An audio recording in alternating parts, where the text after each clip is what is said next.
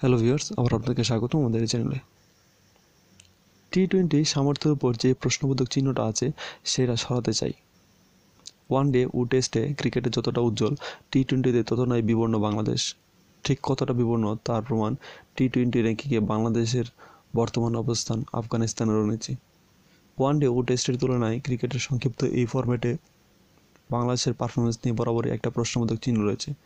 শ্রীলঙ্কার বিপক্ষে দুই ম্যাচে টি টোয়েন্টি সিরিজে সেটাই মুছে ফেলতে চান বাংলাদেশ দলের ভারপ্রাপ্ত অধিনায়ক মাহমুদুল্লাহ রিয়াদ।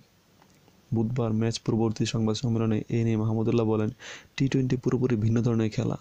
এই খেলার গতিটাও ভিন্ন।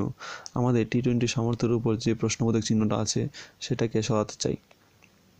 একই সঙ্গে একটা বার্তাও দিয়ে রাখতে চান এই অধিনায়ক আমরা পৃথিবীর প্রতিটি দলকে একটি বার্তা দিয়ে রাখতে চাই যে টেস্ট টু ওয়ানডেতে আমরা যেভাবে এগোচ্ছিলাম টি টু টোয়েন্টিতে আমরা সেভাবে এগিয়েছি। ইঞ্জুরি আক্রান্ত সাকিব আল হাসান অনুপস্থিতিতে টেস্ট সিরিজে নেতৃত্ব দেন মাহমুদুল্লাহ প্রথম টি টোয়েন্টিতেও নেতৃত্ব তার কাঁধে। সাদা পোশাকে সিরিজ খোয়ালেও এই ফরম্যাটের চোখ শিরোপায় মাহমুদুল্লাহর টি টোয়েন্টির কিছু টেকনিক্যাল বিষয় রয়েছে, সেগুলো ধরতে পারা এবং নিজেদের স্কিল এক্সিকিউট করতে পারলে সিরিজের জয় সম্ভব হবে। ধন্যবাদ আমাদের পাশে থাকার জন্য। আমাদের চ্যানেলটিকে সাবস্ক্রাইব করুন এবং আমাদের ভিডিওগুলো লাইকস ও কমেন্টস করুন।